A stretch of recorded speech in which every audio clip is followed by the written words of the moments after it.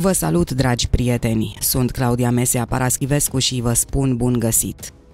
Astăzi vă prezint uimitoarele profeții ale lui Mitar Tarabici, profeții uluitoare despre viitorul omenirii. După un material scris de jurnalistul și scriitorul George Hodorogea. Pe meleagurile umbrite ale Balcanilor, acolo unde vremurile par să se fi oprit în loc și istoria pare să se fi contopit cu narațiunile vremurilor vechi, povestea a doi țărani sârbi care făceau preziceri incredibile și precise a prins viață. Uitați de lume și lăsați de izbeliște de timp, acești doi țărani au rămas neclintiți de istorie, fiind încă ținuți strâns peste ani și ani de tradițiile lor străvechi. Ceea ce pot să vă spun urmărind acest material, nu veți fi dezamăgiți, mai ales că și cei mai sceptici vor fi profund provocați la meditație.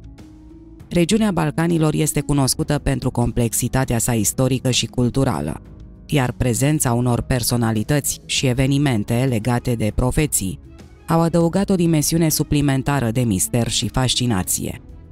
Rudier Boscovici, un renumit filozof, matematician și astronom croat din secolul al XVIII-lea, este recunoscut pentru contribuțiile sale semnificative în diverse domenii științifice și filozofice. Prin viziunea sa neconvențională și profunda înțelepciune, Boscovici a lăsat o amprentă puternică în cultura și spiritualitatea Balcanilor.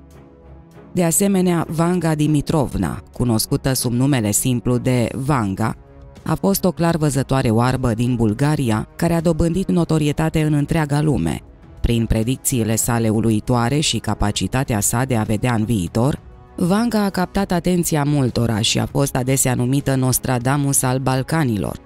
Milos și Mitar Tarabici, cei doi frați sârbi care au trăit în secolul al XIX-lea, au fost deosebit de cunoscuți pentru profețiile lor precise și înțelese ușor de către o gamă largă de oameni. Profețiile lor au acoperit diverse evenimente și schimbări care urmau să aibă loc în regiune și în întreaga lume, adăugând un aspect intrigant și captivant istoriei lor și Balcanilor în general. Mitar Tarabici, un om simplu din Serbia care a trăit între 1829 și 1899, a devenit cunoscut în întreaga lume pentru profețiile sale remarcabile legate de viitorul apropiat al omenirii și de schimbarea cursului istoriei. Este denotat că atât el cât și fratele său au provenit din sărăcie și au rămas analfabeți pe tot parcursul vieții lor. Mitar Tarabici a petrecut întreaga viață în satul Cremna, unde a avut viziunile sale profetice. Mitar Tarabici a fost un om extrem de religios și dedicat credinței ortodoxe, iar legătura sa strânsă cu preotul Zaharia Zaharici, care a trăit între 1836 și 1918, a jucat un rol crucial în transmiterea și păstrarea profețiilor sale. Preotul Zaharici a devenit nașul și duhovnicul lui Mitar, devenind astfel confidentul său în ceea ce privește viziunile care îi tulburau existența simplă de țăran. Preotul Zaharici a fost cel care a notat detaliile profețiilor lui Mitar într-un caiet, care din păcate a fost parțial distrus într-un incendiu provocat de armata bulgară invadatoare în anul 1943. Faptul că textul original al profețiilor se află acum la Belgrad, în posesia lui Dejan Machienkovici, strănepotul preotului Zaharici, adaugă o notă de autenticitate și de stramă mai departe misterul profețiilor. Una dintre cele mai îngrijorătoare și înduioșătoare în același timp profeții ale lui Tarabici se referă la asasinarea familiei regale sârbe Obrenovici în anul 1903. Această tragedie a fost prezisă de către Mitar Tarabici, aducând astfel o notă cu tremurătoare de anticipare, dar și de avertizare asupra evenimentelor politice viitoare. Esența și relevanța profețiilor lui Mitar Tarabici depășesc granițele Serbiei și se extind spre a viza aspecte internaționale majore, cum ar fi cele două războaie mondiale, evoluția omenirii după aceste conflicte, progresele tehnologice, cum ar fi televizorul și calculatorul, decăderea spirituală în epoca modernă, poluarea, călătoriile în spațiu și pe lună, dependența oamenilor de tehnologie, computere, telefoane mobile și mașini, distrugerea naturii, noua ordine mondială și multe altele. Deși Mitar Tarabici a murit în anul 1899, profețiile sale uluitoare acoperă un spectru larg de subiecte și au anticipat evenimente și tendințe care s-au întâmplat în deceniile și secolele ce au urmat după dispariția sa. Această poveste subliniază nu doar puterea profeției, ci și complexitatea legăturilor dintre timp, credință și cunoaștere, și ne provoacă să reflectăm asupra naturii umane și asupra destinului nostru colectiv. Profeții cu privire la primul război mondial. După uciderea mișelească a regelui și reginei din casa Obrenovici, va veni la putere prințul Caradordevici. El va declanșa inițial un război împotriva turcilor, Patru țări creștine vor ataca Turcia, iar granița noastră a Serbiei va fi la râul Lim. Atunci va începe recucerirea dragului nostru Kosovo, prevedea Tarabici. Iată acum fapte istorice care indică acuratețea profeției. 1.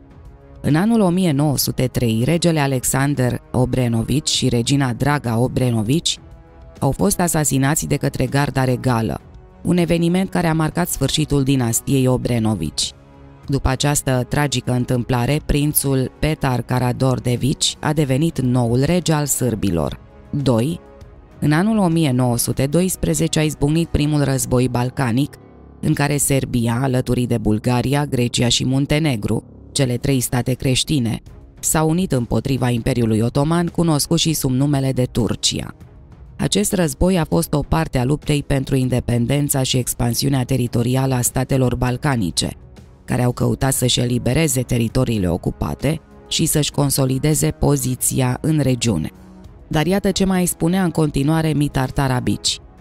Imediat după războiul nostru împotriva păgânilor, o altă grozăvie se va stârni. Va izbucni un mare război în care un râu de sânge se va vărsa, o mare armată va trece un râu și va ataca Serbia de trei ori. Dușmanii vor distruge totul în calea lor. Vor intra adânc în țara noastră, timpuri grele vor veni peste sârbi. Armata noastră va fi aproape pierdută, când deodată un mare războinic sârb va veni călare pe un cal negru și va lua comanda strigând spre victorie vitejii mei înainte frați sârbi. Armata sârbă se va trezi la viață și va goni uriașa armată dușmană dincolo de râul după care a venit. Apoi o armie și mai mare va veni din nord și va stăpâni asupra noastră. Țara ne va fi pustită, vor muri mulți oameni de foamete și molime. Timp de trei ani, Serbia va trăi în întuneric. Tot acest timp, armata noastră va sta într-un loc înconjurat de mare. Când rănile li se vor vindeca, vor veni în corăbii să elibereze Serbia și toate ținuturile unde trăiesc frații noștri. Și acum să vedem faptele istorice. În 1914, Imperiul Austro-Ungar a atacat Serbia după ce naționalistul sârb Gavrilo Princip l-a asasinat la Sarajevo pe arhiducele Franz Ferdinand, moștenitorul tronului austro-ungar.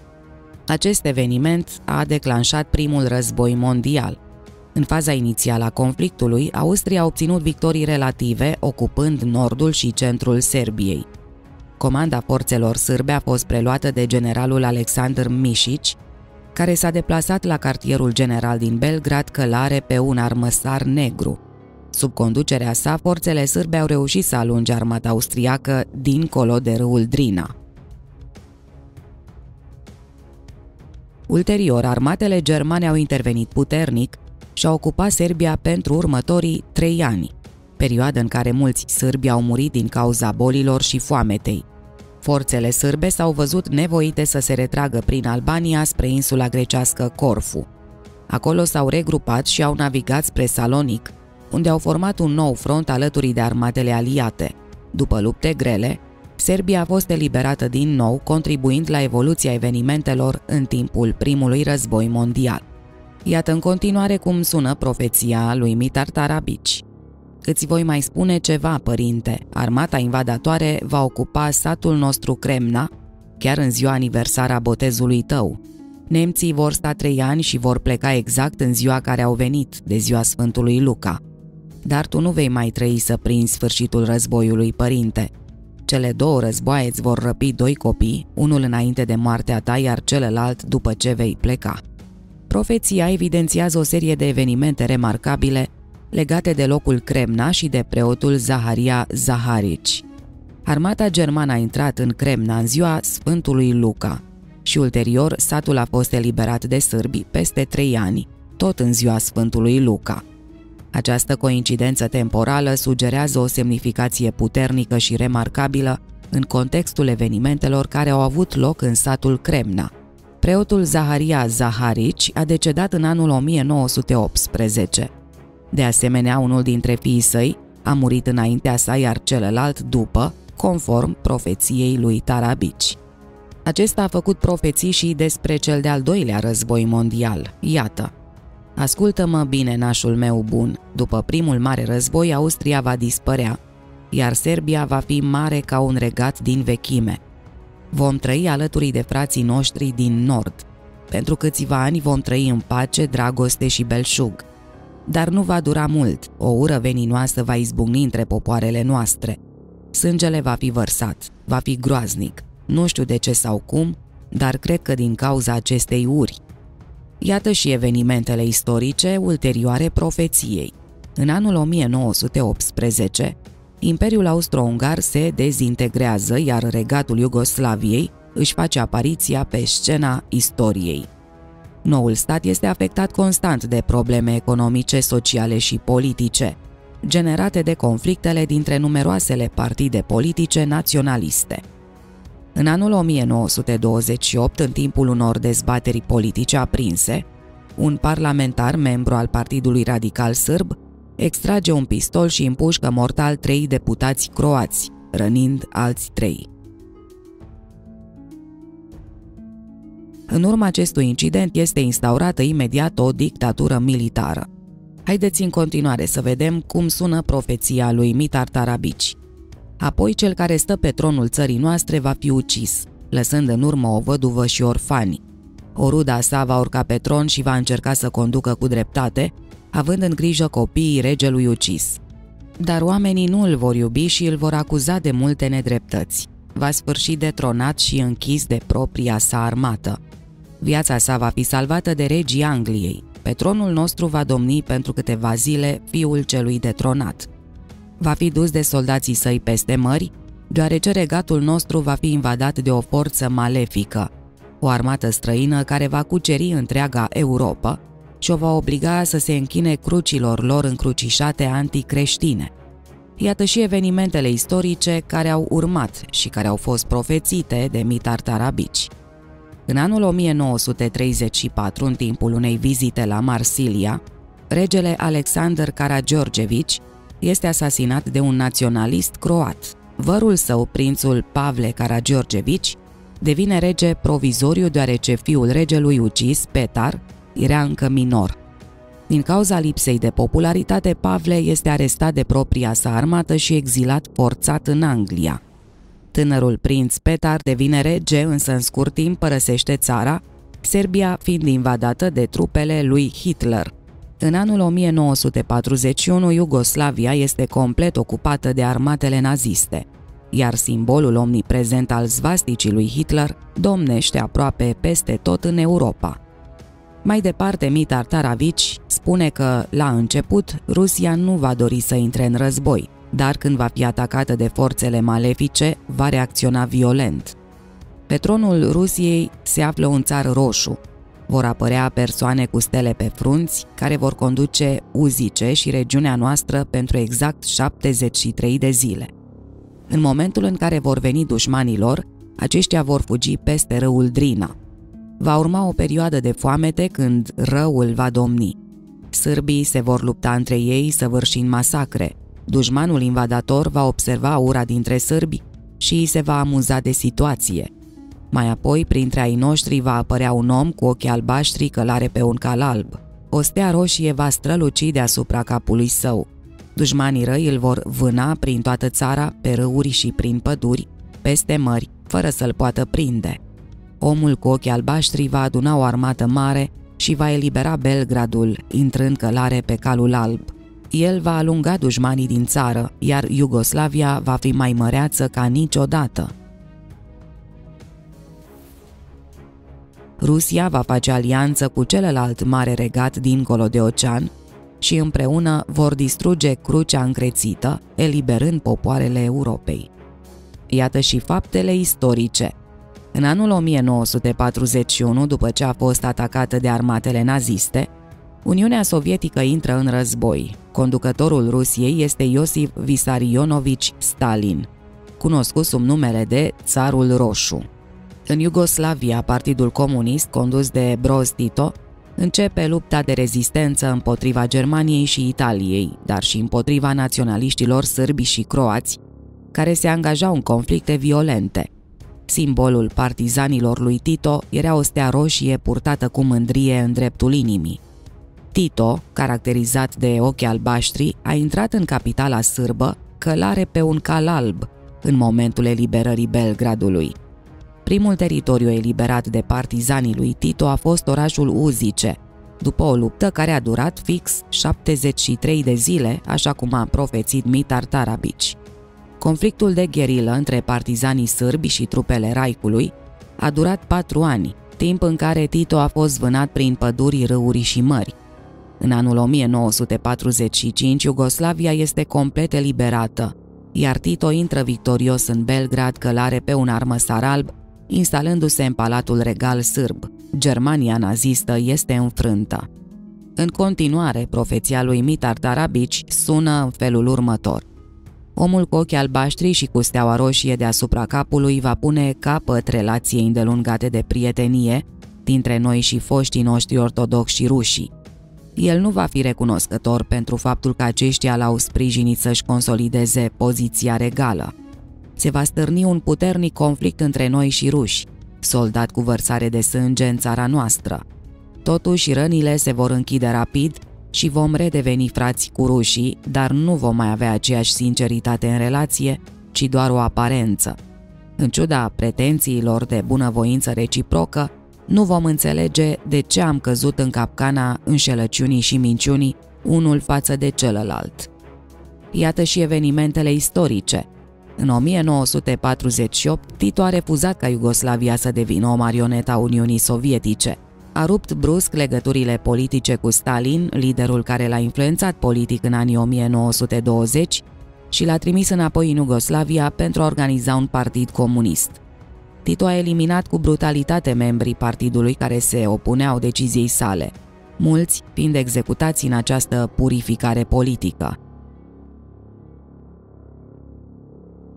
În 1954, în următorul an după moartea lui Stalin, relațiile politice și economice dintre Iugoslavia și URSS au fost reînnoite, însă fără a mai fi la fel de sincere ca în trecut. Despre perioada de după cel de-al doilea război mondial, Mitar Tarabici a profețit următoarele. După Marele Război, pacea va domni în lume. Vor apărea multe țări noi, populate de oameni de diferite culori, negri, albi, roșii și galbeni. Se va înființa o curte internațională care va împiedica țările să intre în război unele cu altele. Această curte va fi deasupra tuturor regilor.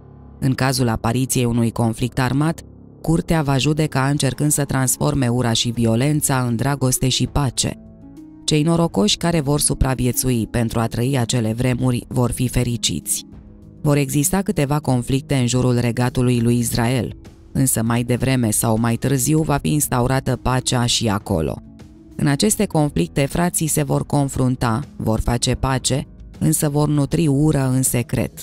Toate războaiele mici vor fi provocate de marile imperii din motive de ură și răutate. Regatul sârb va fi puternic, iubit și respectat de toți. Sârbii vor munci în toată Europa, iar ceilalți oameni vor fi mulțumiți de ei – Oamenii vor consuma pâine albă făcută din făină albă și bogată. Toată lumea va călări căruțe de fier, fără a mai folosi boi sau cai. Oamenii vor călători în ceruri. În uzice vor exista multe fabrici, iar sârbii vor renunța treptat la munca câmpului pentru a lucra în acele fabrici.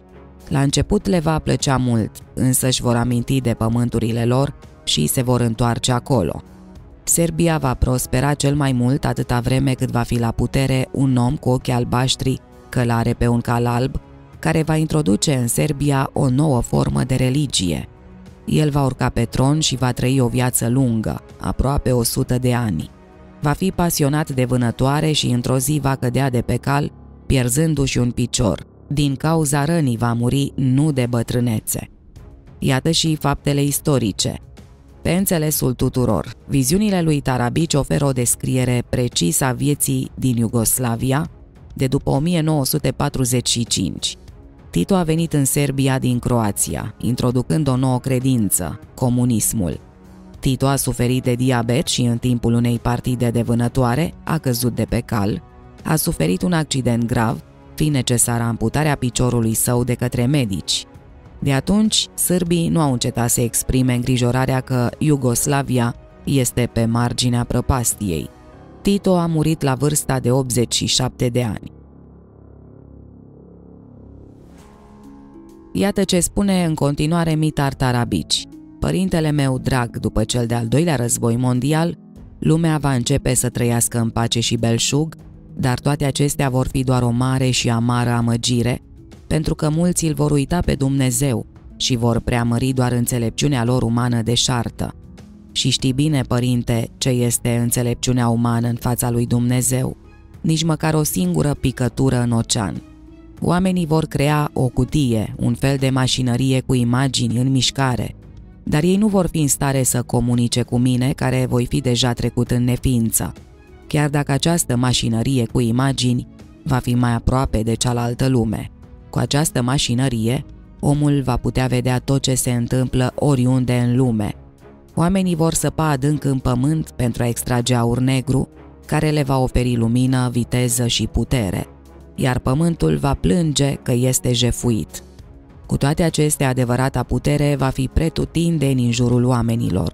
Vino să mă iei, nu vezi că sunt aici în jurul tău, va striga puterea, dar oamenii nu o vor auzi. Abia după mult timp oamenii își vor aminti de această mare putere și atunci își vor da seama cât de neînțelepți au fost să jefuiască pământul. Această putere se află înăuntrul oamenilor – însă va trece mult timp până când ei o vor descoperi și o vor folosi. Iată și evenimentele istorice care au urmat. Tarabici anticipează planul Marshall, ascensiunea materialismului și ateismului în secolul 20, inventarea televiziunii și a calculatorului, criza petrolului și soluțiile ecologice de energie alternativă, cum ar fi turbinele eoliene și panourile solare. Tarabici a făcut profeții uluitoare și despre viitorul omenirii mai departe. Atunci oamenii vor fi capabili să trăiască mult timp fără să se cunoască pe ei înșiși. Vor exista mulți oameni instruiți care vor crede că toate cărțile lor îi vor îndruma să știe și să facă totul. Aceștia vor reprezenta un mare obstacol în calea adevăratei cunoașteri. Atunci când oamenii vor ajunge la adevărata cunoaștere, își vor da seama în ce minciună i-au indus așa zi și lor învățați. Iar când acest lucru se va întâmpla, oamenii vor fi triști că nu au realizat acest lucru mai devreme, deoarece cunoașterea este atât de simplă. Sufletele oamenilor nu vor fi posedate de Satan, ci de ceva mult mai rău. Aceștia vor crede că viziunile și minciunile lor sunt adevărul suprem. În mințile lor nu va mai fi loc pentru adevăr, oamenii vor începe să deteste aerul curat și frumusețea divină a naturii și se vor ascunde în orașe urâte cu aer poluat.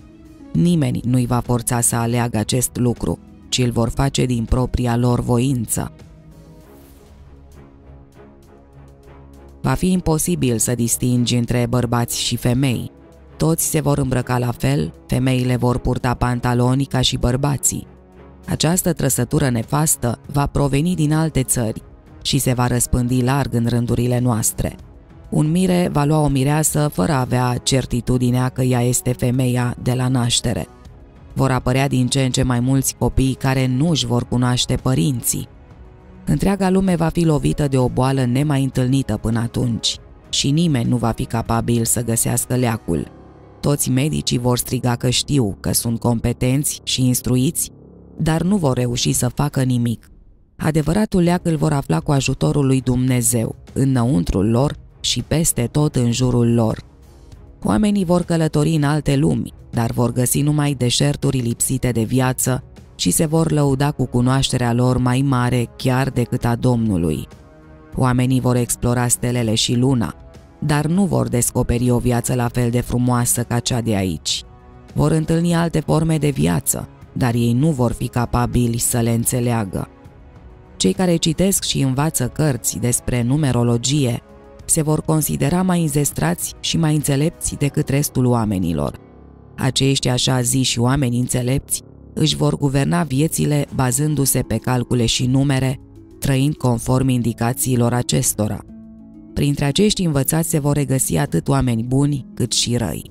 Cei răi învățați vor comite fapte rele și oribile, vor polua aerul și apa și vor răspândi mizerii peste țări, râuri și pământuri, iar mulți oameni nevinovați vor muri din diverse boli necunoscute. Oamenii buni și înțelepți vor vedea că munca și efortul lor nu valorează nimic și vor asista neputincioși la declinul lumii. În loc să caute înțelepciunea în mașini, numere și calcule, oamenii buni se vor orienta spre rugăciune și meditație. Atunci când mulți se vor dedica meditației, vor fi mai aproape de înțelepciunea divină, însă va fi prea târziu deoarece cei răi vor contamina lumea și oamenii vor muri în număr mare.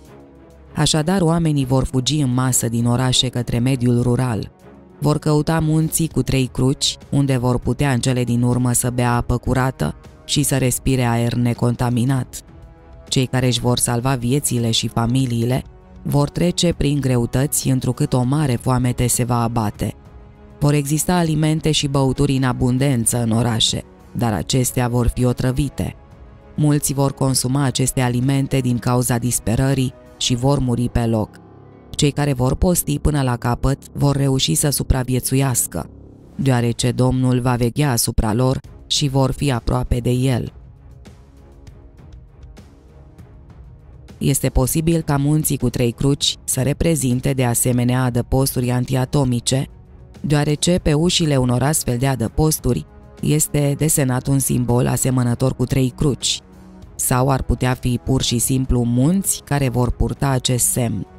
Doar o singură țară amplasată la capătul pământului și înconjurată de mare, la fel de întinsă ca Europa, va trăi în pace și fără necazuri. Cei care vor fugi și se vor ascunde în munții cu trei cruci vor fi în siguranță, a mai profețit Mitar Tarabici. Dragii mei, vă las pe voi să interpretați aceste ultime profeții. Vă aștept cu mare drag și data viitoare. Vă mulțumim ca de obicei pentru că ați fost alături de noi. Numai bine, pe curând!